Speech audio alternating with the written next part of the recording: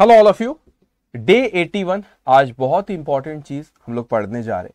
That is accounting of bad dept and provision for doubtful डेप्ट सो इस चीज़ को अच्छे से समझे।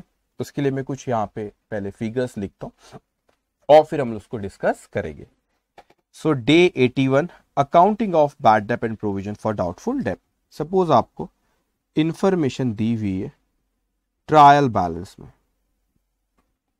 ट्रायल बैलेंस में इंफॉर्मेशन दी हुई है। बैड डेप्ट सपोज़ सिक्सटी रुपीज़ बैड डेप्ट सिक्सटी रुपीज़ फिर वहाँ पे दिया provision. Provision for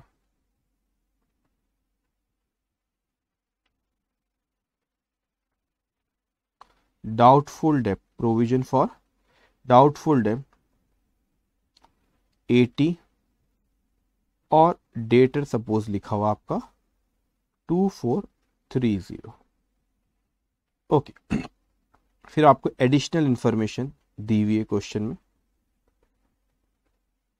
additional information ये एडिशनल इंफॉर्मेशन में सपोज़ आपको लिखा हुआ है। Bad debt rupees 30 bad debt rupees 30 provision for maintained provision for doubtful debt at the rate 5% on datus at the rate 5% on datus you know it कि trial balance में जो item रहते हैं, उनको एक ही जगह लिखते क्यों? क्योंकि उसके हमने डबल इफ़ेक्ट जो होते हैं डेबिट और क्रेडिट ऑलरेडी हम पहले दे चुके जब भी तो ये अकाउंट के बैलेंसेस ट्रायल बैलेंस क्या होता है? अकाउंट के बैलेंसेस आप लोग ट्रायल बैलेंस में लिखते हो। तो आपने बेड डेप्ट का बैलेंस सपोज़ है वहाँ पे प्रोविज़न फॉर डाउटफुल डेट्स अगर आपको यहाँ पे इनके गिव जो आइटम्स यहाँ दिख रहे मतलब उसके आपने पहले अकाउंट्स बनाए, जब तो आपके बैलेंसेस यहाँ पे दिख रहे हैं। और जो एडिशनल इन्फॉर्मेशन होती है उसके आपने डेबिट और क्रेडिट इफ़ेक्ट पहले नहीं दिया इसलिए एडिशनल इन्फॉर्मेशन की हम एडजस्टमेंट एंट्री पास करते हैं। तो ट्रायल बैलेंस को आपको कितनी जगह लिखना होता है यहाँ पे? ट्रायल बैलेंस के जो आइटम है उसको आपको एक जगह एक जगह लिखेंगे। एडिशनल इंफॉर्मेशन की आपको एडजस्टमेंट एंट्री होती है एडजस्टमेंट एंट्री और इसे हम दो जगह लिखेंगे। क्यों दो जगह लिखेंगे हम इसे? इसे आपने कहे कि एक जगह और इसे कितनी जगह? दो जगह। क्योंकि एडजस्टमेंट एंट्री में हम लोगों को डेबिट और क्रेडिट दोनों इफ़ेक्ट एडजस्टमेंट एंट्री में क्या करना है? डेबिट और क्रेडिट दोनों इफ़ेक्ट हम लोग को देना रहेगा एडजस्टमेंट एंट्री में ओके लेकिन आपको ट्रायल में आपको एक ही जगह उसका लिखना है, क्योंकि उसके ऑलरेडी डेबिट और क्रेडिट जो इफ़ेक्ट है हम पहले दे चुके अब ये बेड डेप्ट की और प्रोविज़न फॉर डाउटफुल डेप्ट की अकाउंटिंग करने के दो तरीके, एक और एडरलेस और एक अकाउंट बना के। तो मैं आपको दोनों तरीके से बताता हूँ। दोनों तरीके से मैं आपको बताता हूँ।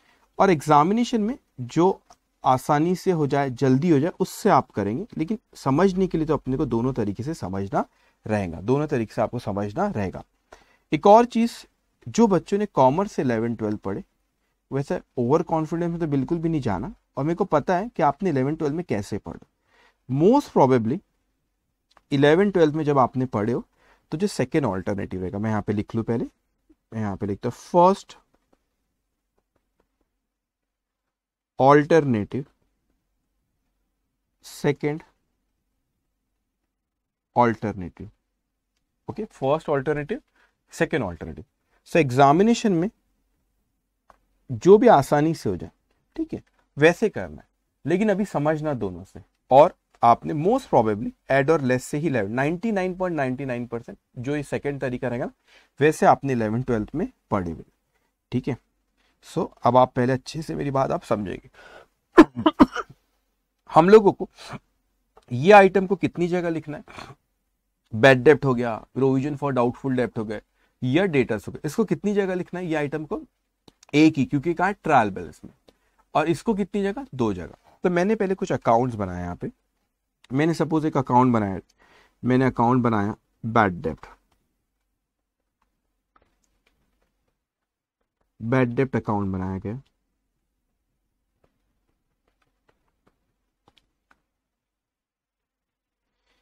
तीन चार लाइन का आपने ये बनाया। फिर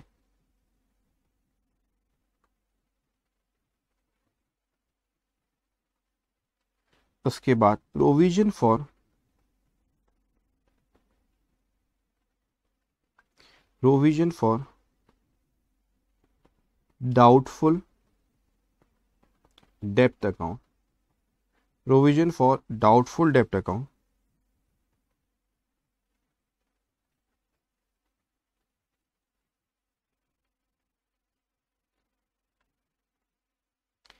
और एक और अकाउंट बनाया अपन यहाँ पे डेटस account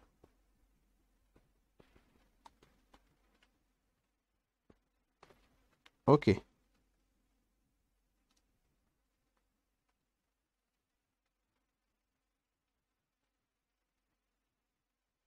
provision for doubtful and डेटस account ध्यान से।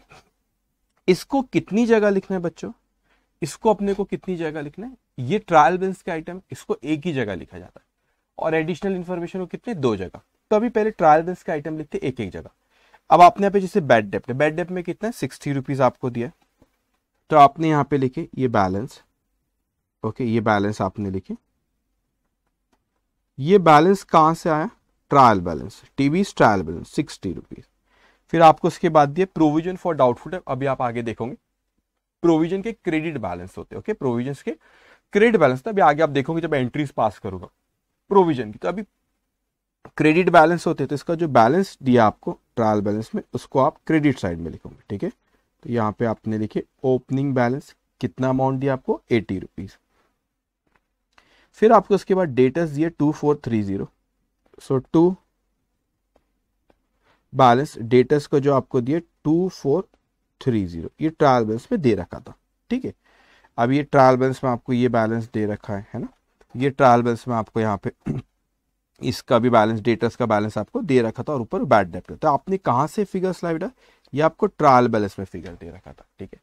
अब क्या हुआ यहाँ पे कि ये ट्रायल बैलेंस में दे रखा था, इसलिए इसको कितनी जगह लिखते एक ही जगह लिखते और एक जगह अपन ने उसको लिख भी लिए लेकिन जो एडिशनल इन्फॉर्मेशन होती है, उसको कितनी जगह लिखना होता है? एडिशनल इन्फॉर्मेशन को हम लोगों को दो जगह लिखना होता है। क्यों? उसकी एडजस्टमेंट एंट्री पास करे, क्योंकि उसका आपने पहले नहीं लिखे। पहले उसको आपने एंट्री पास नहीं करे। तो यहाँ पे जो उसकी एंट्री पास होगी बेड डेप्ट की। बेड डेप की क्या एंट्री पास होगी? बेड डेप की एक बेड डेप एक लॉस है एक्सपेंसेस और लॉस को डेबिट करना होता है हमको नॉमिनल अकाउंट सो आपने यहाँ पे बेड डेप्ट अकाउंट डेबिट करे इंक्रीज इन एक्सपेंसेस और लॉस बेड डेप्ट अकाउंट को डेबिट करे। कितने से डेबिट करे? थर्टी रुपीज़ से। So bad dept account debit thirty rupees to to आप यहाँ पे करोगे to debtors account debtors account thirty rupees तो bad dept account debit thirty to debtors account how much thirty rupees तो आपने debtors को क्यों अपन ने यहाँ पे क्रेडिट करे? डेटर्स को इसीलिए यहाँ पे क्रेडिट करे क्योंकि डेटर्स को आपने क्यों क्रेडिट करे? यहाँ पे डेटर्स को इसलिए यहाँ पे क्रेडिट करे क्योंकि वो पैसा उनसे रिकवर नहीं होने वाला। आप डिफरेंस समझना। बेड डेप्ट का मतलब होता है कि वो पैसा डूब गया। डूब गया मतलब तो पानी में नहीं बह गया। समझाने के लिए जो पैसा अपने को मिलने वाला नहीं है, जिसकी रिकवरी नहीं होगी। तो अब ये डेटर से अपने को थर्टी रुपीज़ मिलने वाले नहीं है। डेटर से थर्टी रुपीज़ मिलने वाले नहीं है। तो इंक्रीज इन एसेट है। डेटर से हमारी क्या होती है? एसेट होती है। उससे हमको पैसा लेना है। तो जब हमको किसी से पैसा लेना है तो वो हमारी एसेट है। तब उससे पैसा नहीं मिलने वाला है तो इंक्रीज इन एसेट क्या करते हैं? क्रेडिट इसीलिए मैंने यहाँ पे डेटर्स अकाउंट को क्या किया? क्रेडिट और बेड डेप लॉस है। इंक्रीज इन लॉस और इंक्रीज इन एक्सपेंसेस क्या करते हैं? डेबिट इसीलिए उसकी एंट्री पास हुई bad debt account debit to debtors account ये जो एडिशनल इन्फॉर्मेशन है, जो एडजस्टमेंट एंट्री पास कर, इसके कितने इफ़ेक्ट देना इसके हम लोगों को दो इफ़ेक्ट देना ये पहला इफ़ेक्ट और ये दूसरा इफ़ेक्ट इसके कितने इफ़ेक्ट देना दो इफ़ेक्ट इसके हम लोगों को देना तो एंट्री पास करें हम लोगों ने बेड डेप्ट account debit to debtors account thirty thirty bed डेप्ट account debit to debtors account thirty तो आपने बेड डेप्ट को यहाँ पे डेबिट करे। बेड डेप्ट को यहाँ पे डेबिट करे टू डेटर्स कितना अमाउंट है? थर्टी रुपीज़ तो ये देखो, एक इफ़ेक्ट ये हुआ और दूसरा इफ़ेक्ट आपने डेटर्स को क्रेडिट करे। तो आपने दूसरा इफ़ेक्ट ये दिए, ये आपने क्रेडिट करे थर्टी से। तो यहाँ पे जो आपको ट्रायल बिल्स में आइटम रहते उसको एक ही जगह लिखा जाता उसको कितने जगह लिखना अपने को एक ही जगह और उसको एक ही जगह लिखा गया। मगर जो आपको एडजस्टमेंट एंट्री उसको दो जगह तो आपने देखो यहाँ पे जो बैड डेप जो आपको एडजस्टमेंट एंट्री करे, उसको एक ही इफ़ेक्ट और ये दूसरा इफ़ेक्ट अब आप सोचेंगे, सर, आपने टू फोर थ्री ज़ीरो में शायद कोई सोच रहा हूँ ये बैड डेप है सिक्सटी तो वो भी तो करो, आपने थर्टी आपने यहाँ पे जब डेटस अकाउंट को क्रेडिट करे तो सिक्सटी को भी क्रेडिट करो ना सर देखो, आप ये सिक्सटी कहाँ पे देख रहे हो? ये सिक्सटी आप ट्रायल बैलेंस में देख रहे हो। तो ट्रायल बैलेंस में जब आप कोई बैलेंस को देखते इसका मतलब उसकी एंट्री ऑलरेडी पहले पास हो चुकी है। तो ये सिक्सटी की बेड डेप की एंट्री पहले पास हो चुकी है bad debt to debtors account तो आपका जो डेटर्स यहाँ पे दे रखा आपको टू फोर थ्री ज़ीरो ये जो डेटर्स दे रखा two four three zero already इसमें पहले सिक्सटी रुपीज़ वो माइनस कर रखे हुए। क्योंकि आपको ट्रायल बेल्स में दिया है बेड डेप भी आपको ट्रायल बेल्स में दिया है। तो बेड डेप की एंट्री पास हो चुकी है सिक्सटी की bad debt account debit to debtors तो डेटर्स जो आपको two four three zero trial balance में, और ये भी बैलेंस आया ना डेटर्स अकाउंट का तो ऑलरेडी डेटर्स अकाउंट का पहले से क्रेडिट कर चुके हो, और वो सिक्सटी एडजस्ट हो क्या है। ओके okay, तो सिर्फ़ एडिशनल इंफॉर्मेशन की जो आप एडजस्टमेंट एंट्री पास करते उसके अपने को दो इफ़ेक्ट देना होता है। ये पहला इफ़ेक्ट और दूसरा इफ़ेक्ट तो क्या डिफरेंस होता है प्रोविज़न में? अब इसकी मैंने बेड डेप किया bad debt account debit to debtors bad debt का मतलब होता है कि अब रिकवरी के कोई चांस नहीं हो पैसा नहीं मिलने वाला है। तो उसको बेड डेप के नाम से हम बुलाते हैं तो बेड डेप्ट अकाउंट डेबिट टू डेटर्स क्यों बेड डेप को डेबिट किया? क्योंकि increase in loss increase in loss हम क्या करते हैं? डेबिट क्यों डेटर्स को क्रेडिट करें? क्योंकि डिक्रीज इन एसेट क्योंकि डेटर्स उतना पैसा आने वाला नहीं है। अब वो यहाँ पे कहता है हम लोगों को कि आपको प्रोविज़न जो आपको for doubtful deposit five percent on debtor लेकिन वर्डिंग्स का बहुत ध्यान से आप सुनोगे। उसने आपसे कहा कि मेंटेन्ड प्रोविज़न मेंटेन मतलब आपका जो प्रोविज़न आप प्रोविज़न का मतलब क्या होता है? पहले ही समझो। प्रोविज़न फॉर डाउटफुल डेप का मतलब होता है जो आपको डाउटफुल है कि आगे चल के पैसा नहीं आने वाला। डाउटफुल है। मैंने क्या कहा? जो आपको डाउटफुल है कि कोई डेटर से पैसा नहीं आने वाला। तो आपको टू फोर थ्री ज़ीरो ये तो आपका डेटर्स था, का बैलेंस था। उसमें आपने बेड डेप जो लिखे बेड डेप कितना लिखे आपने? बेड डेप जो आपने थर्टी जो क्रेडिट करे तो आपका दो हज़ार चार सौ का बैलेंस आ रहा है। तो ये थर्टी पे तो मेरे को कोई दो राय नहीं थी, वो तो पैसा रिकवर नहीं होगा, उसको मैंने बेड डेप मान लिया। मुझे प्रोविज़न फॉर डाउटफुल डेप जो मेंटेन करना है, आप कहोगे, सर, ये दो हज़ार चार सौ तीस रुपए पे करें हम, कि जो यहाँ पे बैलेंस आ रहा है, यहाँ पे कितना बैलेंस आ रहा है? ये बैलेंस आ रहा है दो हज़ार चार सौ। ये हम दो हज़ार चार सौ तीस पे हम लोग क्या, मैं बोलूँगा कि मुझे डाउट है कि पैसा नहीं आएगा, कि दो हज़ार चार सौ पे है मुझे कि डाउट नहीं है, कि पैसा नहीं आएगा। मतलब फाइव परसेंट जो मेरे को डाउट है प्रोविज़न फॉर डाउटफुल जो आपको डाउट है कि वो आगे चल के शायद पैसा ना है डाउट है बेड डेप टॉप डाउट में फ़र्क है। बेड डेप के केस में आप मान लेते हो कि पैसा रिकवर नहीं होगा। प्रोविज़न फॉर डाउटफुल मतलब आपको डाउट है कि शायद वो पैसा ना है फाइव उसने बोला। वो कहता है फाइव परसेंट के फाइव परसेंट डेटस के फाइव परसेंट में मुझको डाउट है। तो भाई, ये तो टू फोर थ्री ज़ीरो का फाइव परसेंट लो कि दो हज़ार चार सौ का? The answer is two thousand four hundred का। दो हज़ार चार सौ के ऊपर मुझे डाउट है। 2400 पे मुझे डाउट आपने बोले, नहीं नहीं सर यहाँ पे 2430 रुपए लिखा। यहाँ पे कितना लिखा? 2430 रुपए लिखा। इसके ऊपर डाउट है। मैंने, नहीं 2400 पे डाउट है क्योंकि 2430 में 30 को तो मैंने बेड डेप मान लिया। मैंने तो मान लिया उसमें पैसा नहीं आएगा।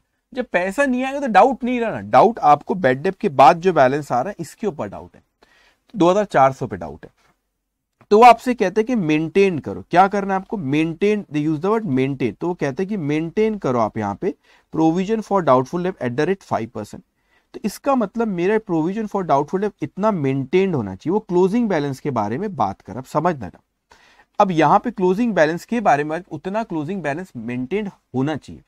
तो कितना होना चाहिए? अब मेरे पास डेटर्स तो था वैसे दो हज़ार चार सौ तीस रुपए, दो हज़ार चार सौ तीस। उसमें से तीस रुपए बेड डेप्ट हो गया तो बचा दो हज़ार चार सौ। उसका फाइव परसेंट मुझे इतना मेंटेन करना है। So two four three zero minus thirty multiply by five percent वो आता है एक सौ बीस रुपए। इतना मेंटेन करना प्लीज़ समझना, मैं इतने से अपना प्रोविज़न क्रिएट नहीं कर रहा हूँ। क्रिएट करने में और मेंटेन करने में फ़र्क है बेटे। क्रिएट मतलब और कितने से प्रोविज़न आप इस साल बढ़ा रहे हो, वो नहीं बात चल वो कह रहे हैं कि मेरा closing balance maintained closing balance इतना रहना चाहिए। क्लोजिंग बैलेंस मेरा इतना रहना चाहिए। तो अब क्लोजिंग बैलेंस कितना रहना चाहिए? 120 अभी आप बोलेंगे, सर, दो इफ़ेक्ट दो। मैं क्लोजिंग बैलेंस अभी कितने दो इफ़ेक्ट वाली बात मैं दो मिनट में करूँगा। तो मैंने यहाँ पे कहा कि प्रोविज़न का बैलेंस वो कहता है कि मुझे मेंटेन कितना करना है, ये क्लोजिंग बैलेंस की बात कर रहा है। वो कितना कहता है कि मेंटेन कितना करना है 120 है ना? इतना मेंटेन करना है। तो ये मेंटेन करना है, इसको आप कहते हैं न्यू प्रोविज़न न्यू प्रोविज़न जो आपका क्लोजिंग बैलेंस लिखा मैंने। ठीक है न्यू प्रोविज़न कहते हैं। और ये जो रहता है ना अच्छा ये आप देखो, ये 120 आपने लिखी कि ये मेरा जो न्यू प्रोविज़न जो कि क्लोजिंग बैलेंस इतना मेरे को मेंटेन करना है। 120 कैसे आया? इसका 2400 का आपने पाँच परसेंट निकाले, वो आपका 120 इतना मेंटेन कर। इसका मतलब ये हुआ कि मेरे पास ओपनिंग बैलेंस ओपनिंग बैलेंस जो था मेरे पास, वो कितना था? ओपनिंग बैलेंस मेरे पास था 80 और क्लोजिंग है 120 तो इसको ना एक और इससे बुलाते इसको ओल्ड प्रोविज़न भी कहते और इसे न्यू प्रोविज़न न्यू प्रोविज़न तो मैंने कहा कि 80 था, वो कहते हैं कि 120 मेंटेन करो 120 मेंटेन करो। तो आपको नहीं लगता मुझे और 40 से क्रिएट करना पड़ेगा? हाँ हाँ सर 40 से क्रिएट करना पड़ेगा। तो मैं यहाँ पे लिख सकता हूँ। अभी 40 से जो मेरे को क्रिएट करना पड़ेगा तो यहाँ पे मैं लिखता हूँ। प्रोविज़न जो provision to be to be increase by provision to be increase by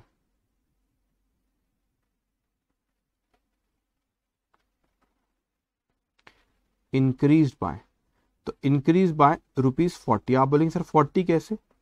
120 चाहिए। 80 है तो 40 से बढ़ाना पड़ेगा। 120 चाहिए 80 है तो 40 से बढ़ाना पड़ेगा। इसकी क्या एंट्री पास होगी बच्चों? इसकी एंट्री पास होती है profit and loss account debit profit and loss account debit to provision for doubtful डेप्ट अकाउंट प्रोविज़न फॉर डाउटफुल डेप्ट अकाउंट अब आप पीएनएल अकाउंट डेबिट करो बच्चों यहाँ पे। आप इसको profit and loss account debit करो। ये बेड डेप्ट अकाउंट डेबिट करो, बात एक ही है, क्योंकि बेड डेप्ट का बैलेंस भी प्रोविज़न अकाउंट में जाएगा। बेड डेप्ट का सॉरी बेड डेप्ट का बैलेंस भी पीएनएल अकाउंट में जाता है। तो आप यहाँ एंट्री पास करो profit and loss account debit to provision account या बेड डेप्ट अकाउंट डेबिट टू प्रोविज़न बात एक ही है बेड डेप भी करते तो कोई दिक्कत नहीं बेड डेप का बैलेंस पीएनएल अकाउंट में ही जाता है। तो मैंने एंट्री पास किया PNL account debit to provision और बेड डेप्ट अकाउंट डेबिट टू प्रोविज़न कितने से?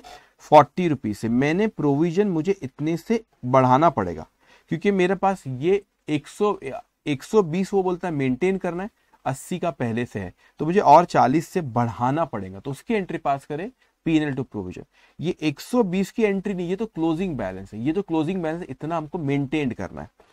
अब देखो, यहाँ पे मैंने एंट्री पास किया बेड डेप्ट अकाउंट डेबिट टू प्रोविज़न तो बेड डेप्ट अकाउंट को मैंने यहाँ पे डेबिट किया प्रोविज़न बेड डेप्ट अकाउंट को यहाँ पे debit provision for doubtful how much 40 और प्रोविज़न अकाउंट को आपने यहाँ पे क्रेडिट करे बाय बैड डेप्ट अकाउंट बैड डेप्ट अकाउंट 40 तो अपने को यहाँ पे इतने से प्रोविज़न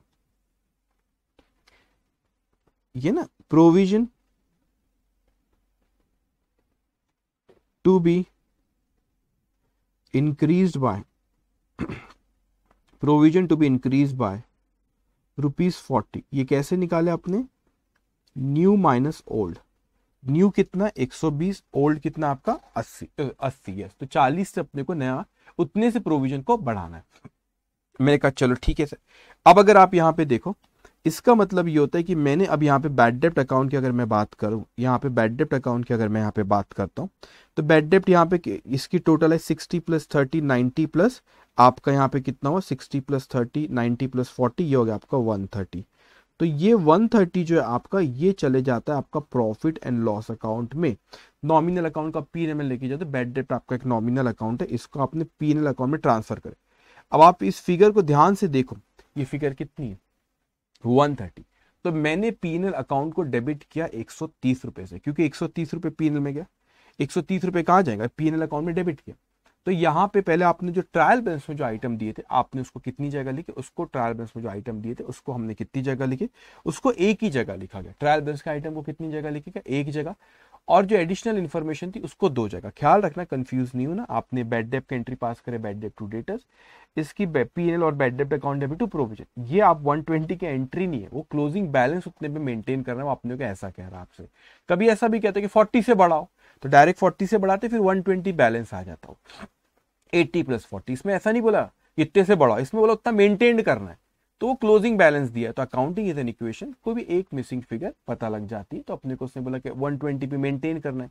80 ऑलरेडी है तो कितने से बढ़ाना पड़ेगा? 40 से अपने को बढ़ाना रहेगा। ओके सो यहाँ पे आपका ये बैलेंस आया कितना? ये बैलेंस आया आपका 130 ये बैलेंस है आपका 130 ओके अब मैंने कहा, सर, ये तो अकाउंटिंग के तरीके से आपने करे तो इस तरीके से लेकिन अब मैं जो एड और लेस से आपको बताऊँगा 99.99 परसेंट जो हमारे कॉमर्स के होनार बच्चे इन बच्चों ने 11 12 में 99.99 परसेंट बच्चों आपने एड और लेस से क्यों? जो मैं भी लिखने जा रहा हूँ एकदम से लिखूँगा हाँ सर हमने पढ़े, ठीक है? लेकिन उसमें भी वही आंसर आएगा, जो आंसर मेरा भी यहाँ पर, उसमें भी वही आंसर आएगा, जो आंसर मेरा भी यहाँ पर आया है, ओके? अब आप समझेंगे इसको। अब देखो यहाँ पे सेकेंड ऑल्टरनेटिव मैंने कहा कि मैंने profit and loss account suppose बनाया। प्रॉफिट एंड लॉस अकाउंट इस प्रॉफिट्स एंड लॉस अकाउंट में मैंने यहाँ पे लिखा, इस पी एन एल अकाउंट में मैंने यहाँ पे लिखा ठीक है एक सेकेंड रुकेंगे ये पी एन पहले मैं ड्रॉ कर लेता हूँ, फिर अपन बात करते बैलेंस शीट बैलेंस शीट और ये बैलेंस शीट मैंने बनाया। इस बैलेंस शीट में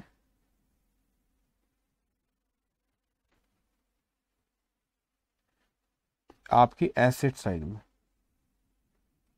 एसेट साइड में और पीएनएल के डेबिट साइड पहले मैं लिख लू। तो आपने यहाँ पे लिखे टू बैड डेप देखते सर, आपने जब अकाउंट बनाया, यहाँ पे डेबिट क्रेडिट किए तो आपने अकाउंट बनाया तो आपका 130 बैलेंस है और आपने क्या पीएनएल में जाएगा। देखते सर जो आप यहाँ पे एडलेस से करें क्या पीएनएल में 130 आता है क्या? तो मैंने यहाँ पे लिखा।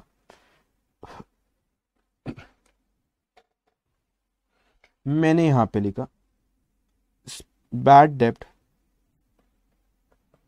मैं ब्रैकेट में लिख रहा हूँ ओल्ड अभी मुझे पहले लिख लेता हूँ, फिर मैं आपसे बात करता हूँ। Bad dept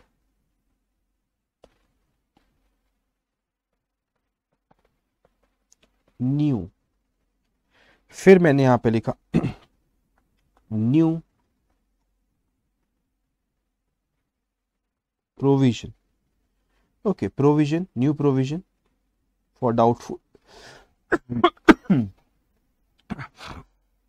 new provision for doubtful debt और जो भी टोटल आती है, उसमें से हम माइनस कर देते old provision of doubtful debt ये तो कहीं देखा देखा सा लग रहा है सर हाँ हाँ. कुछ समय पहले जब अपन इलेवन ट्वेल्थ में देखे थे ट्रायल बैलेंस में आपको जो फिगर दी रहती है, उसको एक जगह लिखना है और एडिशनल इंफॉर्मेशन को दो जगह। अब मैंने कहा, सर, ये तो कहीं देखा देखा सर रख रहे हैं। हमने पढ़े थे, sir old bad debt plus new bad debt plus new provision minus old provision मैं सच कह रहा हूँ, ये जो पढ़े, ये आपने पढ़े होंगे, पक्का कॉमर्स वाले से बात करो। और कोई ऐसा प्राउड मूवमेंट नहीं अपना भी। हाँ सर, देखे। बेटा, ये ज़रूरी है। ये अकाउंटिंग आना ज़रूरी। ये तो याद करे ना, याद करना नहीं। और मैं सच को, मेरे को याद नहीं है ये। ये तो मैंने अकाउंटिंग करा तो उसको अकाउंटिंग मैंने जब लिखा भी तो मैंने किसके एंगल से लिखा? अकाउंटिंग ही दिमाग में चली। मेरा डेबिट क्रेडिट चला। तो बेटा old bad debt plus new bad debt plus new provision minus old provision ऐसा अपन करते थे, वो अपने को बैड डेप्ट को अपने को ट्रायल बेस में उसको अब सॉरी अपना पीएनएल अकाउंट में उसको आउटर कॉलम पे लिखना है old bad debt plus new bad debt plus new provision minus old provision अच्छा अभी देखते और आप यहाँ पे लिखते थे।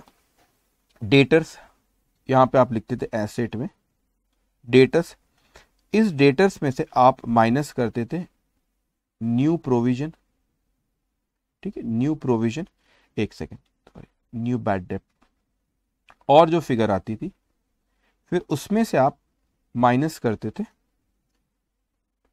less provision for doubtful debt ठीक अब ध्यान से मेरे पास समझ जाए एक एक करके।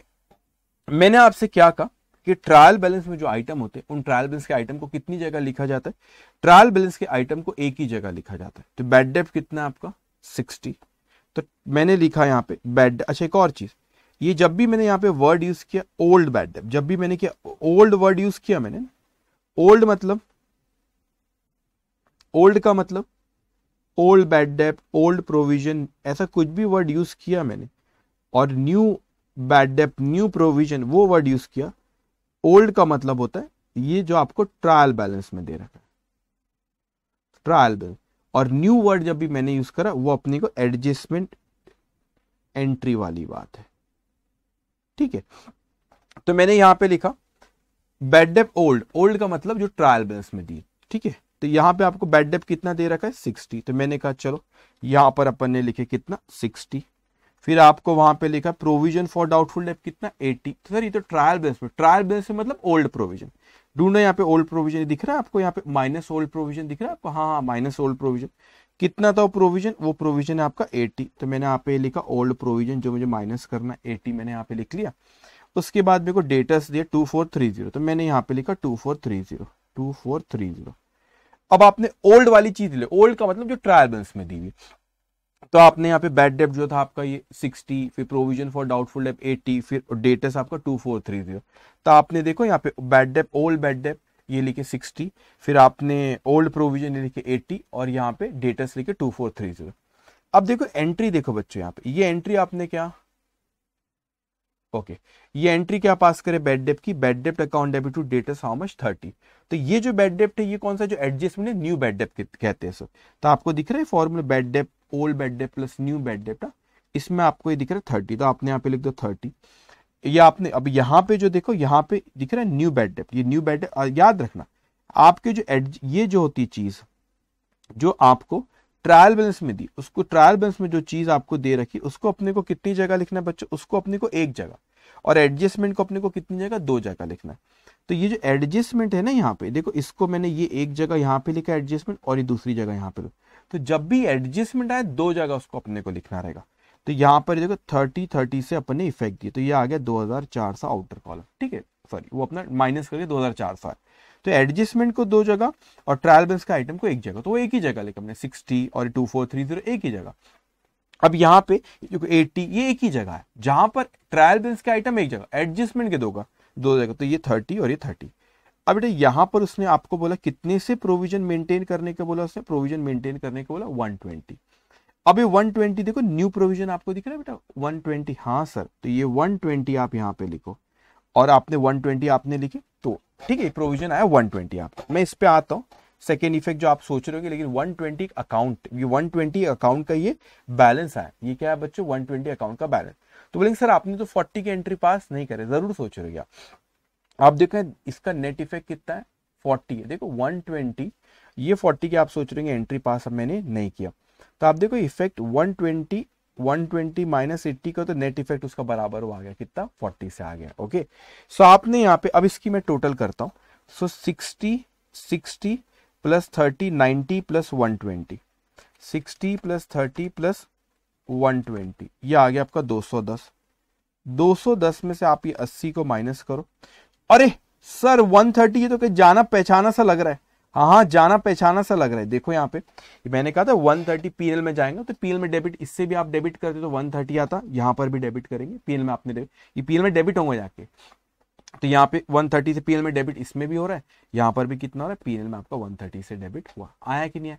तो आपने मोस्ट प्रोबेबली ऐसे पढ़ोगे old bad debt plus new bad debt plus new provision minus old provision तो ये आ गया आपका 130 अब देखो बच्चे, यहाँ पे ये जो आपका 2004 से बैलेंस है 2004 से यहाँ पे दिख रहा है। अब क्या हुआ? ये अकाउंट में ये जो बैलेंस आया आपका 120 से आया, ये 120 से आया ना आपके 120 बैलेंस है, इसको तो कहीं लिखना पड़े। ये बैलेंस ना, देखो आप अच्छे से समझो। ये एक बैलेंस है 130 तो ये पीएल में चले गए। देखो पीएल में आ गया 130 ये भी एक बैलेंस है 120 सर ये तो अकाउंट है ना, इसका बैलेंस कहाँ जाएँगे? तो क्रेडिट बैलेंस है तो आप लाइबिलिटी साइड में इसको अगर लिखो, पहले समझ लो मेरी बात। Provision for doubtful debt provision for doubtful debt कितना है? 120 ये आपने लिखे, इसको यहाँ पे लिखे आपने देखे ये 120 अब आप इसको यहाँ पे लिखो, यहाँ पे अच्छा एक और चीज़, ये डेबिट बैलेंस आया 2400 ये भी दिखना चाहिए। तो देखो 2400 यहाँ पे 2400 आपको दिख रहा है यस सर तो 2400 ये देखो 130 और 120 ये क्रेडिट बैलेंस है तो लाइबिलिटी के यू नो इट के लाइबिलिटी के कौन से बैलेंस होते हैं? क्रेडिट लेकिन ये जो प्रोविज़न फॉर डाउटफुल डेप जो होता है, वो किससे कनेक्ट होता है? डेटर से कनेक्ट होता है। इसीलिए आपको लाइबिलिटी में लिखो, वो भी चलेगा, या आप इसको लाइबिलिटी में लिखो, वो भी चलेगा, या आप इसको लाइबिलिटी साइड में ना लिखते हुए ऑल्टरनेटिवली और वैसा ही करा जाता है। आप इसको क्या करोगे, जो आपने डेटर्स का बैलेंस आया 2400 उसमें से प्रोविज़न फॉर डाउटफुल डेप का जो क्लोजिंग बैलेंस है 120 उसको माइनस कर दिया 2400 तो ये अरे सर सर सर इसमें से अरे भाई, आप इधर लिखो लाइबिलिटी साइड में लिखो, ये डेट यहाँ पे 2400 से माइनस करके बताओ, बात एक ही, है ना? बात एक ही होती है। तो अब देखो यहाँ पे ऐसा ही तो हुआ ना आपने आपने यहाँ पे कहते कि पीएनएल अकाउंट में 130 से क्या करो आप जाके उसको डेबिट करेंगे आपने बेड डेप्ट को यहाँ पे क्रिएट कर पीएनएल को आपको डेबिट करा था तो आपने देखो यहाँ पे बराबर आपने पीएनएल में यहाँ पे वन वन थर्टी आया। यहाँ पे वन ट्वेंटी जो था आपका, देखो यहाँ पे बराबर वन ट्वेंटी आया। और यहाँ पर आप देखो दो हज़ार चार सौ तो ये आपका बराबर दो हज़ार चार सौ ये आया है। सो वैसा ही हुआ है। जो आप, जो फिगर्स यहाँ पर आई, वही फिगर्स यहाँ पर भी थी बच्चों, वही फिगर्स यहाँ पर भी थी। और ये आप कंफ्यूज नहीं होना ये फोर्टी से। आपने एंट्री पास कर दी, ये भी बता दो PNL account debit to provision तो यहाँ पर देखो, इसका नेट इफ़ेक्ट पीएनएल आपने उतने से डेबिट करे 120 120 ये लिखे और 80 माइनस तो नेट इफ़ेक्ट देखो तो चालीस रुपए यार चालीस से डेबिट करे। दूसरा अगर मैं बोलूँ, आपको बोलूँगा दूसरा इफ़ेक्ट सिखाओ। तो प्रोविज़न में कितना बैलेंस था बेटा आपके? सर, ये प्रोविज़न में हमारा बैलेंस था अस्सी। आपने 40 से क्रेडिट करे तो 120 आ गया बराबर क्लोजिंग बैलेंस हो गया। तो दो इफ़ेक्ट बराबर हुए 40 के। ये 120 ही है और ये 80 तो नेट इफ़ेक्ट देखो, ये 40 आया तो सर दूसरा बोलो, वो भी बोलता हूँ। ये प्रोविज़न में आपका ओपनिंग था 80 आप ब्रैकेट में लिख सकते हो 80 प्लस ये 40 तो ये बराबर देखो 120 तो 40 आपने इसको 40 से बढ़ाया, जब प्रोविज़न का आपका क्लोजिंग बैलेंस 120 आया। तो मोस्ट प्रोबेबली आपने ऐसा किया तो मैं ये नहीं कह रहा कि आपको अब नहीं करना है आप अभी भी कर सकते हो। लेकिन मैं हमेशा कहता हूँ, करो आप भला इससे। इससे करने कोई दिक्कत नहीं है। कि old bad debt plus new bad debt plus new provision minus old provision खत्म के अब एसेट साइड में debtors minus new bad debt minus new provision new provision जो ओल्ड प्रोविज़न आपका new provision old sorry new provision जो आपका closing balance है। तो आपने न्यू प्रोविज़न को यहाँ पे उतने से क्या करें उसका? माइनस या आप इसको लाइबिलिटी साइड में बताओ तो वो भी चलता है आपको, या इसमें से माइनस करो, लेकिन जनरली इसमें से माइनस करके बताते। क्योंकि प्रोविज़न फॉर डाउटफुल है वो डेटर से रिलेटेड है। एक ही फैमिली के लोग हैं तो एक ही साथ में यहाँ पे एडजस्ट कर लेते तो दोनों में फिगर तो हमारी दोनों जगह क्या हो रही बच्चों? सेम आ रही, उसमें कोई दिक्कत नहीं, चाहे ऐसे करो या ऐसे। तो मैं ये नहीं कह रहा हूँ कि आपने प्लस माइनस से मत करना फिगर आप आप प्लस माइनस से करो, कोई दिक्कत लेकिन आपको ये ज़रूर आना चाहिए कि ये अकाउंटिंग किस तरीके से इस चीज़ की होती है। ओके कोई डेंजर उसमें नहीं। लेकिन क्यों कर रहे एड और लेस एटलीस्ट उतना अपने को पता रहना चाहिए। ओके तो इस तरीके से हम लोग अकाउंटिंग करते बेड डेप की और किसकी डाउटफुल डेप की। अब इस पर हम लोग एक क्वेश्चन लेते जो कि सी इंस्टीट्यूट के सी इंस्टीट्यूट के मटेरियल में, सी इंस्टीट्यूट की क्या है? ये जो आपने ये समझे ना आपने 120 जो था, मैं लिख देता हूँ इसको कि ये जो था आपका, यहाँ पे मैंने लिखा भी होगा यहाँ पे ना wanted provision total provision to be maintained ये क्या है new provision total provision to be maintained total provision to be maintain total provision to be maintained okay total provision to be maintain इतनी चीज़ आपको समझ में आई? ओके अब यहाँ पे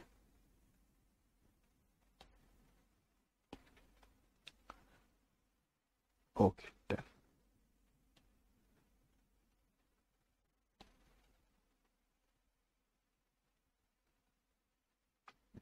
तो हमने एंट्री डिस्कस की अकाउंटिंग के बारे में बैड डेप के डाउटफुल डेप की किस तरीके से करी जाती है। अब हम लोग आते इंस्टीट्यूट के क्वेश्चन पे, जो इंस्टीट्यूट के मटेरियल का क्वेश्चन है, question number fifth question number fifth okay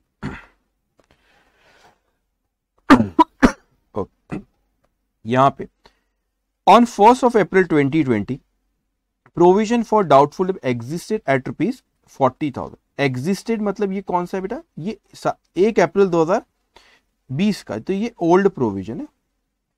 old provision provision का ओपनिंग बैलेंस जो कहते हैं, ओल्ड प्रोविज़न कहते हैं।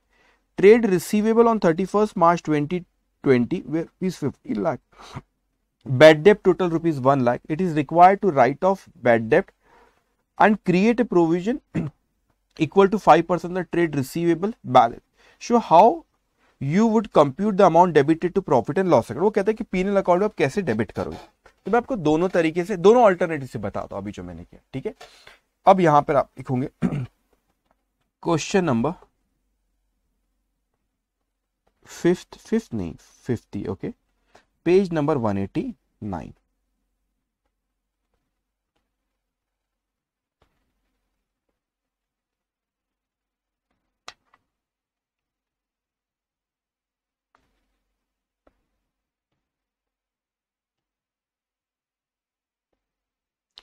question number fifth, page number 189 तो मैं यहाँ पे लिखता हूँ फ़र्स्ट ऑल्टरनेटिव तो मैंने यहाँ पे दो अकाउंट बनाए। बैड डेप्ट अकाउंट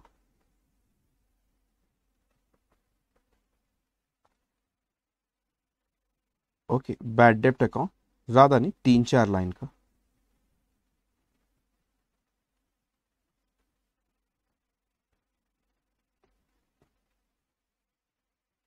और प्रोविज़न फॉर डाउटफुल डेप्ट अकाउंट प्रोविज़न फॉर डाउटफुल डेप्ट अकाउंट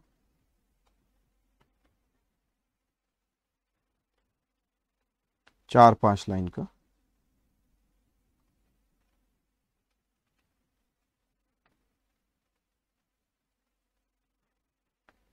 ओके, ध्यान से आप मेरी बात सुनिएगा आपको क्वेश्चन में उसने सबसे पहले यहाँ पे प्रोविज़न फॉर डाउटफुल डेप का ओपनिंग बैलेंस दिया कितना दिया उसने?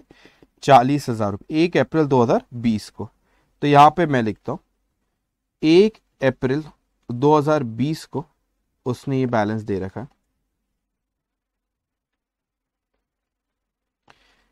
दो हज़ार बीस का। ठीक है, यहाँ पे।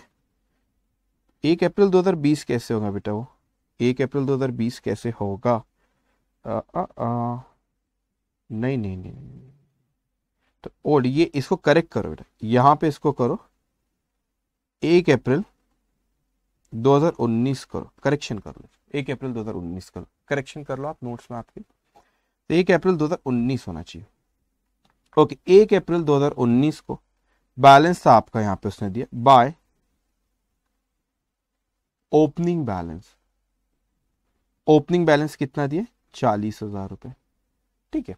फिर वो कहता है आपसे, ट्रेड रिसीवेबल, डेटस में कितना बैलेंस दिया आपने? डेटस में उसने बैलेंस दिया आपको पंद्रह लाख रुपए। चलो मैं डेटस अकाउंट भी बनाता है।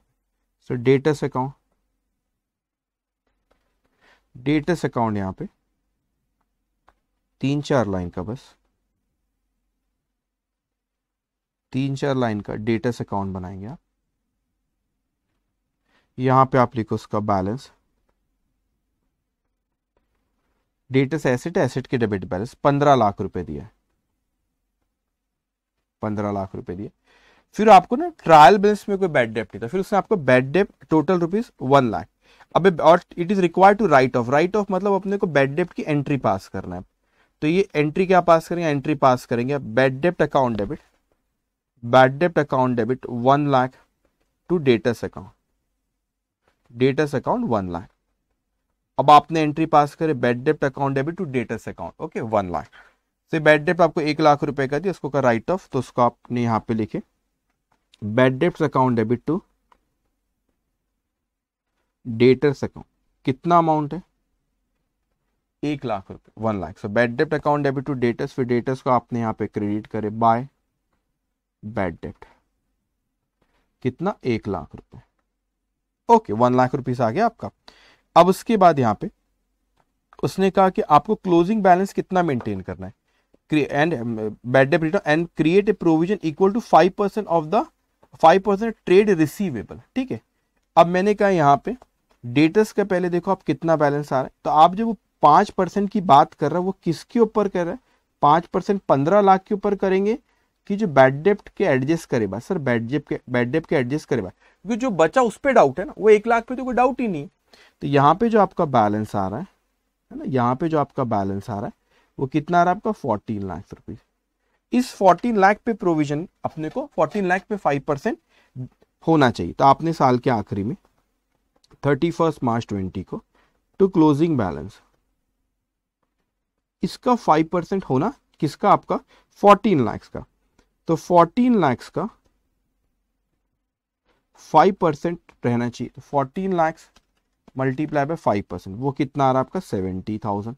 तो ये सेवेंटी थाउज़ेंड रुपीज़ अपना रहना चाहिए। तो ओपनिंग तो हमारा फोर्टी थाउज़ेंड ही ओपनिंग हमारा कितना? Forty thousand. तो ये हमारा, इसको अपन कहते ये ओल्ड है। ये इसे न्यू के नाम से कहते तो पहले था चालीस, वो बोलता है, नहीं, सत्तर होना चाहिए तो अपने को और कितने से इंक्रीज करना पड़ेगा? जो बैलेंस आपका आएगा, वो आएगा आपका थर्टी थाउज़ेंड रुपीज़ से। तो इतने से इंक्रीज करना तो एंट्री पास हो रही बेड डेप्ट अकाउंट डेबिट टू प्रोविज़न वैसे आप पी एन टू प्रोविज़न भी कर सकते हो, लेकिन क्योंकि बेड डेप्ट का बैलेंस भी पीएनएल में जाता है। एनी तो ये बैलेंस कैसा है आपका?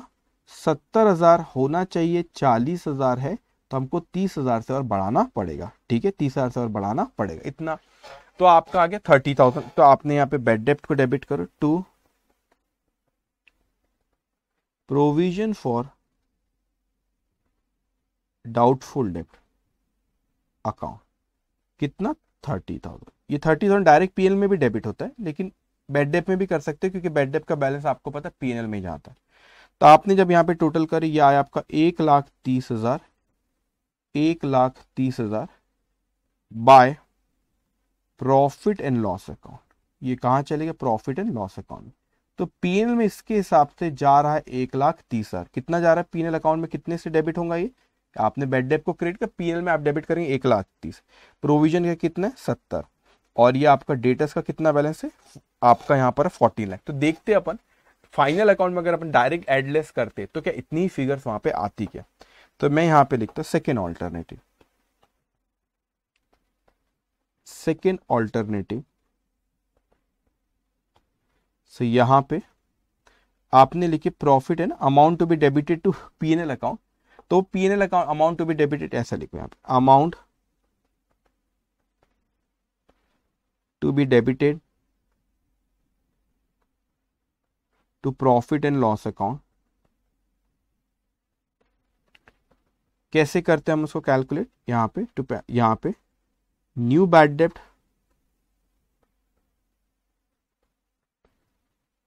Plus old bad debt. Plus new provision. Minus less old provision. Less old provision. New provision का मतलब न्यू बेड डेप का मतलब क्या होता है? जो आपने एडजस्टमेंट में किया, ठीक है? अब न्यू बैड डेप का भी मतलब क्या होता है? जो एडजस्टमेंट अब आपको यहाँ पे ओल्ड बैड डेप तो कुछ क्वेश्चन में उसने यहाँ पे दिया नहीं। ओल्ड बैड डेप मतलब जो ट्रायल बैलेंस में दिया, वो नहीं। आपने भी न्यू बेड डेप कितना था? एक लाख रुपए का। तो आपने न्यू बेड डेप यहाँ पे एक लाख रुपए लिख दी। उसके बाद न्यू प्रोविज़न जो आपको मेंटेन करे, वो कितना आपका न्यू प्रोविज़न सत्तर हज़ार और ओल्ड है चालीस। तो ये आपने लिखे यहाँ पे सत्तर हज़ार। तो ये आ गया एक लाख सत्तर हज़ार। और चालीस हज़ार रुपये से आप क्या करो? माइनस। तो यहाँ पे ये फिगर आ गई आपकी कितनी? एक लाख तीस हज़ार। देखो, एक लाख तीस हज़ार अपना आंसर आया। यहाँ पे देखो कहते एक लाख तीस उतना ही आएगा, ठीक है? अब उसके बाद यहाँ पे आप आपने बैलेंस शीट में सेकंड में यहाँ पे लिखते, वो तो आप, उसने पूछा था इतने से कितने को पीएनएल कितने से डेबिट करना है। लेकिन इसको बैलेंस शीट, ये आपका पीएनएल में ना, ये आपका पीएनएल में जाएगा। Amount to be debited to profit and loss account तो ये बेटा मैंने यहाँ पे एड और लेस से बताया। वहाँ पे आपको अकाउंट बना के। अब बैलेंस शीट में आप किस तरीके से रिफ्लेक्ट कैसे होंगे बैलेंस शीट में? ठीक है? सेकेंड ये बैलेंस शीट है सपोज़ बैलेंस शीट में किस तरीके से रिफ्लेक्ट होंगे प्रोविज़न और वो डेटस सो आप इसको ज़्यादा नहीं, चार पाँच लाइन का सिर्फ़ ड्रॉ करेंगे। ओके चार पाँच लाइन का इसको ड्रॉ करो।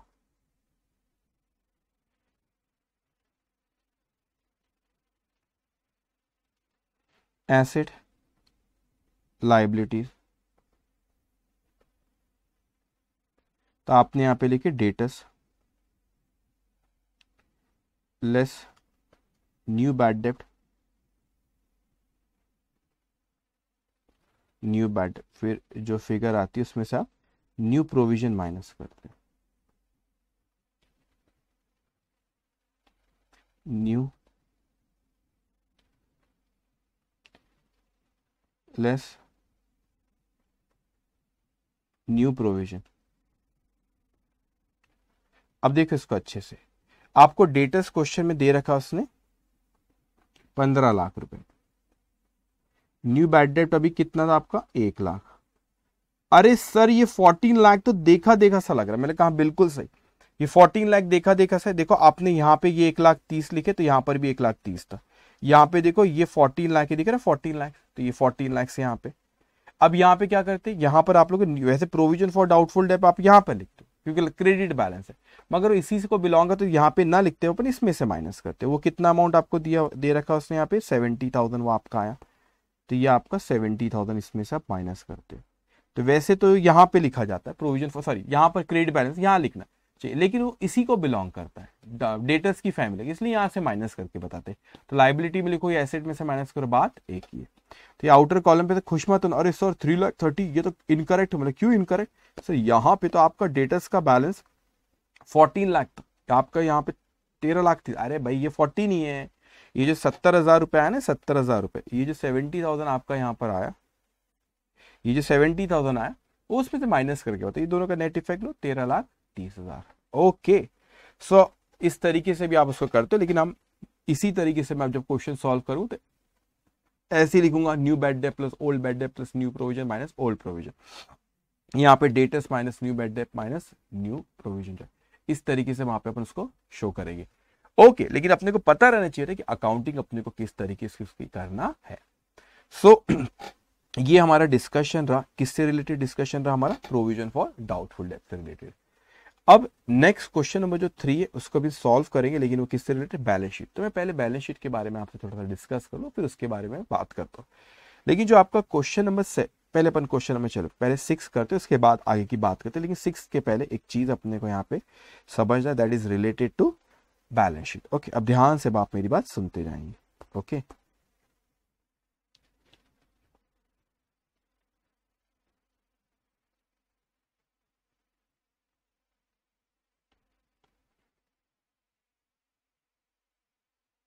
ओके ध्यान से आप मेरी बात सुनेंगे। Balance sheet. ठीक है दूसरा डिस्कशन है वो हो गया ऊपर का। ओके ये बैलेंस शीट क्या चीज़ है सर? अच्छे से आराम से मेरी बात अब आप यहाँ पे सुनते जाएँगे बच्चे। बैलेंस शीट हम लोग लिखते एज ऑन फिर डेट लिखी जाती है।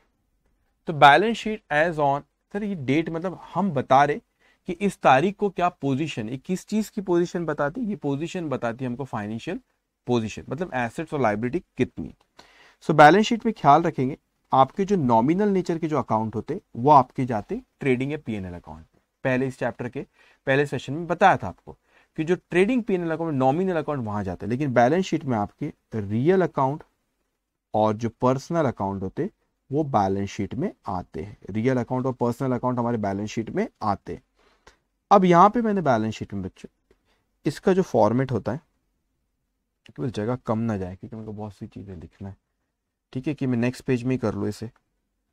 जगह कम ना जाए ना, फिर एक सेकेंड रुको। आप मत करना कुछ। मैं इसको नेक्स्ट पेज में लिखता हूँ। ठीक है? ठीक है। Balance sheet.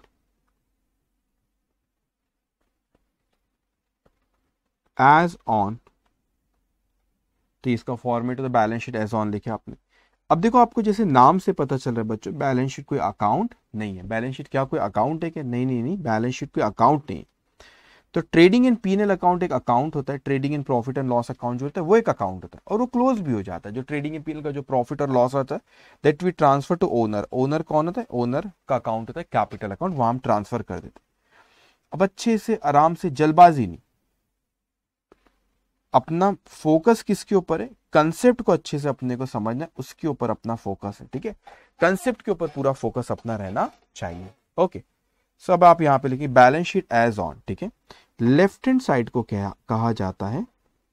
लाइबिलिटी और जो राइट हैंड साइड होता है, उसे अपन कहते हैं एसेट राइट हैंड साइड को क्या कहते हैं अपन? राइट हैंड साइड को अपन कहते हैं एसेट तो ये कोई अकाउंट नहीं है। सिर्फ़ आपकी जानकारी के लिए मैं कह रहा हूँ कि लाइबिलिटी के, कौन से बैलेंस होते हैं? लाइबिलिटी के होते हैं आपके क्रेडिट बैलेंस सर आप बोलेंगे सर लेफ़्ट हैंड साइड पे क्रेडिट लिखे रहे तो गलत बात। अरे भैया अकाउंट नहीं है। अकाउंट में लेफ़्ट हैंड साइड में डेबिट राइट हैंड साइड में क्रेडिट लिखते अकाउंट नहीं है। ये तो मैं आपकी इंफॉर्मेशन के लिए लिख रहा हूँ कि एसेट के डेबिट बैलेंस होते लाइबिलिटी के कौन से थे क्रेडिट बैलेंस किस तरीके से इसमें इसमें आपको जैसे मैंने कहा, दो चीज़ आपकी बैलेंस शीट में रहते सारे के सारे रियल अकाउंट बैलेंस शीट में आते हैं और क्या आते हैं आपके रियल अकाउंट सारे के सारे आते हैं और क्या आते हैं आपके पर्सनल अकाउंट और पर्सनल अकाउंट आपके बैलेंस शीट में आते अब यहाँ पे आपका, सबसे पहले आपने लिखे लाइबिलिटी में आपका आता है आपका कैपिटल ठीक है मैं ना इनफैक्ट एक सेकेंड मैं आपको लाइबिलिटी एसेट साइड से शुरू करता हूँ। एसेट साइड में एक तरीका याद रखना एक होता है इसको प्रेजेंट करने का तरीका कि आप सबसे पहले यहाँ पर लिखते हो सबसे पहले आप शुरू करते परमानेंस से। परमानेंस का मतलब क्या होता है? जो जितना ज़्यादा परमानेंस है पर, परमानेंस जो जितना ज़्यादा परमानेंट हमारे पास रहेगा। एक सेकेंड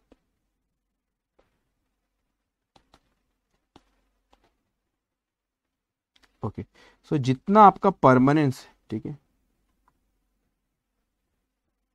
परमानेंस तो जो जितना आपके पास परमानेंट रहेगा जो एसिड ज़्यादा परमानेंट है या ज़्यादा लंबे समय तक हमारे पास रहने वाली उसको पहले लिखा जाता है। तो एग्ज़ाम्पल के तौर पे मैं यहाँ पे लिखता हूँ जैसे कि मैंने यहाँ पे लिखा टेंजिबल फिक्स एसिड ठीक है? टेंजिबल फिक्स एसिड वैसे फिक्स एसिड को अब प्रॉपर्टी प्लांट एंड इक्विपमेंट के नाम से बुलाया जाता है। एक आप पढ़ोगे सी इंटर में। अकाउंटिंग स्टैंडर्ड टेन एनी उसका फिक्स एसेट ही कॉपी तो टेंजिबल फिक्स एसेट जैसे कि आपकी लैंड एंड बिल्डिंग एक आपकी एसेट होती। लैंड एंड बिल्डिंग क्या होती बच्चों? लैंड एंड बिल्डिंग आपकी क्या होती? एक एसेट होती। फिर plant and machinery plant and machinery एक एसेट होती। है तो देखो एसेट साइड में लिख रहे। एग्जाम्पल्स तो बहुत होते हैं, मैं कुछ बता रहा आपको। फर्नीचर एक एसेट होती तो आपने एसेट साइड में लिखे। उसके बाद आपने लिखी जैसे intangible intangible asset intangible asset क्या होती है? जिसको आप फिजिकली नहीं देख सकते, जैसे कि गुडविल लेकिन वो हमारी एसेट होती क्योंकि उससे हमको बिज़नेस में बेनिफिट होते गुडविल एक रेपुटेशन इन कोई ऑर्गेनाइजेशन की कोई ब्रांड नेम जो रेपुटेशन होती है ना, वो भी हमारी एसेट होती जैसे एग्ज़ाम्पल नागपुर में हल्दीराम है. बड़ा ही फ़ेमस है. अब हल्दीराम के सामने कोई और भी दुकान रहेगी ना तो भी मैं हल्दीराम में जाऊँगा, क्योंकि उसकी गुडविल है, उसकी रेपुटेशन मेरे को एक रहता है कि नहीं यार, इसकी दुकान में जाऊँगा, मुझे अच्छी चीज़ मिलेगी। तो वो, उसे, उस रेपुटेशन आप कहते हैं गुडविल फिर जैसे पेटेंट आप कोई आप इनोवेशन करो कोई चीज़ का, आप इनोवेट करते तो आपने कोई चीज़ इन्वेंट करे तो कोई और चुराना लेना आपका इन्वेंशन भाई आपने इन्वेंशन करे, कोई फॉर्मूला कोई चीज़ आपने इन्वेंट करे, कोई मेडिसिन का फॉर्मूला इन्वेंट करे और किसी और ने चुरा लिया, मेहनत हमारी और बाकी सब उसको क्या कर रहे बेच रहे तो ऐसा ना हो। तो इसीलिए पेटेंट को भी क्या उसे फिर उसको आप रजिस्टर्ड करा लेते हो। हम क्या कहते हैं? पेटेंट। तो पेटेंट भी हमारी क्या होती है? एसेट कि उससे हमको बेनिफिट मिलता है। तो इंटेंजिबल है। तो ऐसा नहीं तो चलो पेटेंट आज डालो बैग में हमें घर पे ऐसा नहीं मिलता। चलो गुडविल लाओ, ले बैग में रखो। घर पे ले जाता गुडविल थोड़ा सा। ऐसा नहीं होता। तो वो इंटेंजिबल होती है। ओके जो इसका कोई फ़िज़िकल सब्सटेंस नहीं होता। इन्वेस्टमेंट जैसे इन्वेस्टमेंट सो इन्वेस्टमेंट भी आपकी एसेट होती और एक होती लॉन्ग टर्म इन्वेस्टमेंट तो यहाँ पे मैं लिखता हूँ लॉन्ग टर्म इन्वेस्टमेंट एक शॉर्ट टर्म भी होते हैं। जो कम समय के लिए इन्वेस्ट करे तो वो करंट एसेट का पार्ट होता है। और फिर आपकी आ, आती है इसके बाद current asset so current asset में आपके जैसे करंट एसेट वो चीज़ होती है जो माना जा रहा है कि एक साल के अंदर कैश में कन्वर्ट हो जाएँगी। तो आपने यहाँ पे लिखे क्लोजिंग स्टॉक आपकी एसेट होती है हाँ क्लोजिंग स्टॉक हमारी क्या होती? एसेट ये आपने लिखे। फिर आपका डेटर्स आपकी एसेट उससे पैसा अपने को रिकवर करना एसेट है। बैंक में हमारा पैसा जमा है तो बैंक बैलेंस बैंक बैलेंस ही हमारी एसेट है। उसके बाद कैश इन हैंड हमारे पास पैसा रखा हुआ है, वो हमारी क्या है? एसेट है। तो इससे हम कहते हैं एसेट्स को एक तरीका होता है परमानेंट जो जितना परमानेंट है, उसको आपने पहले लिखे। और अगर आप यहाँ पे देखोगे तो लिक्विडिटी जो जितना लिक्विडिटी हो, जो जितना लिक्विडेट वो उतना मैंने नीचे लिखा मतलब जो इजीली जो कैश में कन्वर्ट होगा, उसको नीचे लिखे। तो ये तो ऑलरेडी कैश है ना? बैंक से आप जाके विड्रॉ कर सकते हो। डेटा से आप पैसा रिकवर करोगे क्लोजिंग स्टॉक उसको बेचोगे तो पैसे में कन्वर्ट हो जाएगा। तो जो जितना लिक्विड है मतलब जितने जल्दी कैश में कन्वर्ट होंगे, वो नीचे लिखा जाता है। और जो जितना परमानेंट है, वो ऊपर। तो वैसे कई लोग ऐसा भी रहते हैं कि लिक्विडिटी से शुरू करते लिक्विडिटी वाले आइटम पहले लिखते हैं मतलब यहाँ से कैश इन एंड से शुरू करते और फिर यहाँ पे इसको नीचे कर, लिखते हो। लेकिन ज़्यादातर इसी तरीके से final account finance balance sheet बनाई जाती है। एसेट में इसी तरीके जो जितना परमानेंट हमारे पास रहेगा ज़्यादा लंबे समय तक उसको हम ऊपर लिखते हैं। ओके अब आते हैं हम लोग लाइबिलिटी साइड में। तो लाइबिलिटी साइड में आपका एक कैपिटल होता है। अब वैसे कैपिटल में याद रखिए एक होता है आपका कैपिटल का बैलेंस आपको दिया रहता है ट्रायल में। उसको मैं कहता हूँ सपोज़ ओपनिंग कैपिटल ठीक है? अब ओपनिंग कैपिटल में कहता इस साल का जो प्रॉफिट हुआ, वो किसको देते मालिक को। मालिक कौन है? ओनर तो इसमें नेट प्रॉफिट को ऐड करा जाता है। इसमें नेट प्रॉफिट को क्या होता है? ऐड करा जाता है। और जो ड्राइंग्स होते हैं ओनर जो पर्सनल यूज़ के लिए अपने लेके जाते हैं, उसको अब क्या हैं? ड्राइंग्स तो उसका कैपिटल उससे क्या होता है? कम। इसीलिए ड्राइंग्स को इसमें से क्या करा जाता है? माइनस ड्राइंग्स को क्या करा जाता है? इसमें से माइनस करा जाता है। ओके एक ये होता है। कैपिटल के बाद फिर आपका लॉन्ग टर्म। लोन, आपने कोई लोन ले रखे, आपने क्या रखे? लोन ले रखे तो आपकी लाइबिलिटी होती है। टर्म लोन है ना? आपने कोई लोन ले रखे, वो आपकी लाइबिलिटी उसको आप लिखते हो। ठीक है, ऐसा आइटम्स तो बहुत होते, लेकिन आपको जो मेजर जो चीज़ है अपन वो डिस्कस यहाँ पे कर रहे हैं।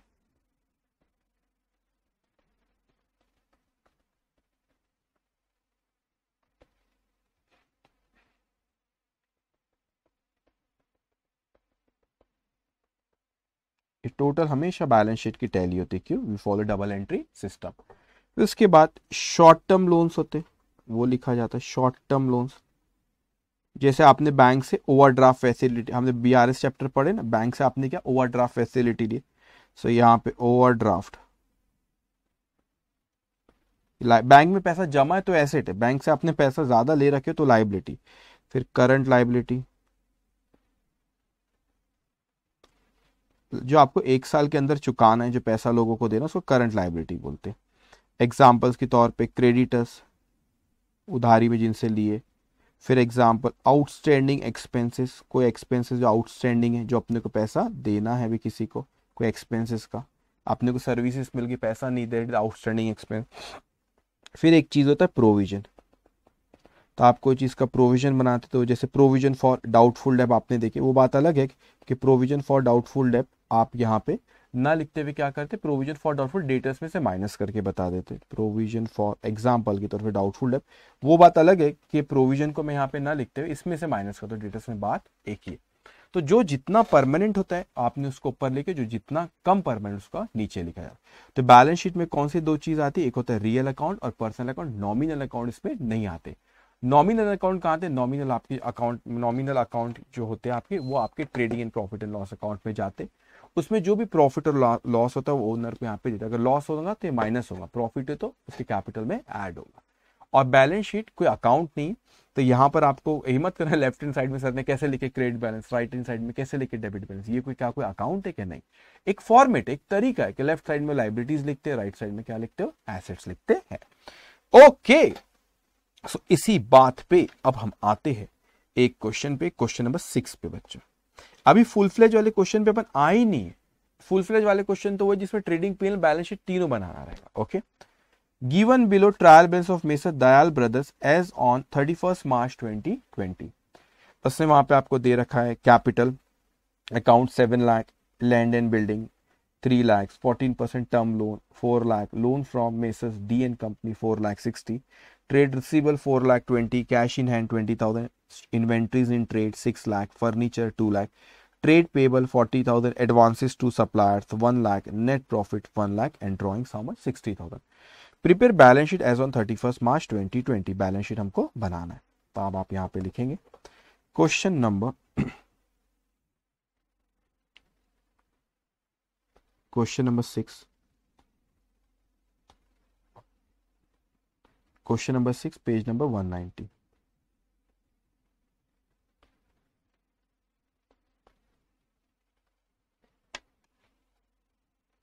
Page number 190. In the books of Maces Dayal Brothers, balance sheet as on 31st of March 2020 इसको ड्रॉ करो दस बारह लाइन के। इसको ड्रॉ करो आप दस बारह लाइन के।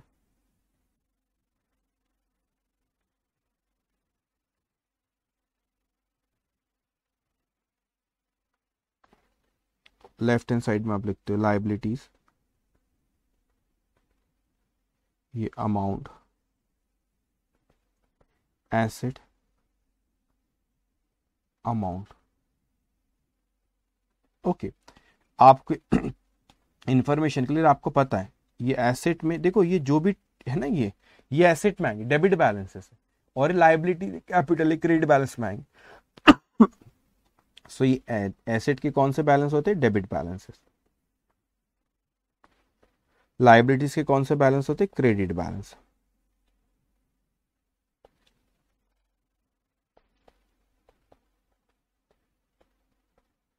okay. सब आप, एक, बस आपको ये देखना है कि एसेट है कि लाइबिलिटी सबसे पहले दिया उसने कैपिटल तो कहाँ पे आता है? इसके क्रेडिट बैलेंस देखो हेडिंग भला यहाँ पे लाइबिलिटीज है, लेकिन इसमें कैपिटल लाइबिलिटी की दोनों आते हैं। कैपिटल और, ये यहाँ पे लिख देता हूँ मैं कैपिटल एंड लाइबिलिटी ये एसेट बोलेंगे, सर एक्सपेंस और इनकम अरे, यहाँ पे नहीं दिया बैलेंस शीट पूछा ना इसलिए सिर्फ़ ओके। तो यहाँ पे पहले कैपिटल का लिख लेंगे आप, किस तरीके से कैपिटल लिखा जाता है। कैपिटल उसमें आप ऐड करते हो। कैपिटल में आप ऐड करेंगे। ऐड करा जाता है। क्या चीज़ ऐड करेंगे? नेट प्रॉफिट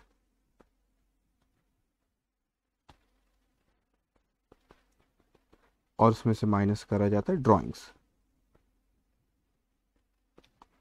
ओके तो कैपिटल आपको जो दे रखा है, वो कितना है आपका? Seven lakh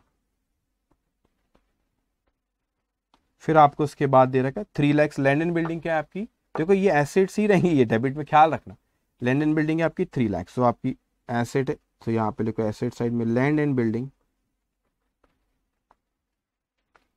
three lakhs land and building कितनी है आपकी? थ्री लैक्स उसके बाद है आपका फिर fourteen percent term loan fourteen percent term loan कितना है? फोर लैक्स सो देखो कौन सा, ये क्रेडिट साइड में लिखा है मतलब क्रेडिट बैलेंस से मतलब क्या है? लाइबिलिटी तो आपने लोन वैसे भी लाइबिलिटी होता है fourteen percent term loan how much four lakhs उसके बाद है फिर आपका loan from messrs D N company आपने लोन लिए तो वो क्या है? Liability loan from what do mean fourteen percent term loan fourteen percent term loan मतलब वो टर्म लोन पे फोर्टीन परसेंट इंटरेस्ट का रेट होगा, इसलिए उसका नाम रहता है फोर्टीन परसेंट, ऐसा लिखा हुआ है। तो fourteen percent represent rate of interest जो लोन पे अपने को देना है। Loan from messrs DN company four lakh sixty thousand four lakh sixty thousand उसके बाद ट्रेड रिसीवेबल ये आपकी एसेट एसेट है four lakh twenty thousand so यहाँ पे दो तीन लाइन का स्पेस रखना, फिर लिखना आपने ट्रेड रिसीवेबल सिक्स लैक्स उसके बाद है फिर कैश इन हैंड इसके दो तीन लाइन बाद लिखना आपने कैश इन हैंड एसेट है आपकी, वो दिया आपको ट्वेंटी थाउज़ेंड कितनी दिया? ट्वेंटी थाउज़ेंड उसके बाद क्वेश्चन में दिया आपको inventories closing stock six lakh ये भी आपकी एसेट है. सो अब आप इसको यहाँ पे लिखो closing stock how much six lakhs sorry trade receivable मैंने सिक्स लैक्स लिखा। Sorry trade receivable is four lakh twenty thousand four lakh twenty thousand six lakhs okay now उसके बाद है फर्नीचर टू लाख ये एसेट है आपकी fix asset furniture how much two lakhs दो lakh.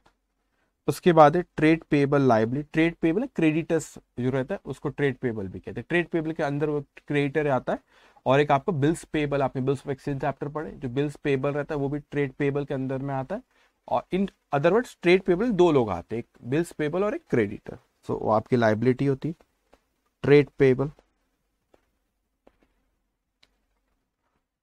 forty thousand then advances to supply हमने advance दिए, हमको किसी ने एडवांस नहीं दिया। हम किसी एडवांस लेते तो लाइबिलिटी हमने किसी को एडवांस दे रखे। सप्लायर से, जिसे अपन गुड्स खरीदते, अपन एडवांस दे रखे। एक लाख तो ये आपकी एसेट है। सो एडवांस टू सप्लायर हमने किसी को दी। One lakh okay. फिर आपको दिया उसने नेट प्रॉफिट तो आपने ट्रेडिंग पेन अकाउंट पूछा नहीं ट्रेडिंग पेन अकाउंट ने बनाया उसका नेट प्रॉफिट एक लाख है ओनर को देते। सो ओनर का अकाउंट कौन सा कैपिटल उसमें एक लाख रुपए नेट प्रॉफिट ऐड करते अब आप बोलेंगे, सर ड्रॉइंग से इसका तो क्रेडिट सॉरी डेबिट बैलेंस है यहाँ पे। तो ड्रॉइंग सही बात है, जो ओनर ने लेकर गया तो बिज़नेस के पॉइंट ऑफ़ से बिज़नेस को ओनर से लेना है, ये कितना? सिक्सटी थाउज़ेंड लेकिन अब उसके कैपिटल में एडजस्ट करते तो आप बोलेंगे डेबिट बैलेंस है तो उसको एसेट में लिखना चाहिए। एसेट में ना लिखते हुए अपन लाइबिलिटी साइड में से क्या करते इस बात एक ही है ना, क्योंकि वो ओनर से अपन को पैसे नहीं लेंगे। जो अपने को देना है, उसमें से माइनस कर लेते हैं एडजस्ट इसलिए कैपिटल में से उसको क्या करते हैं? सिक्सटी थाउज़ेंड को minus seven plus one eight lakh minus sixty thousand seven lakh forty thousand okay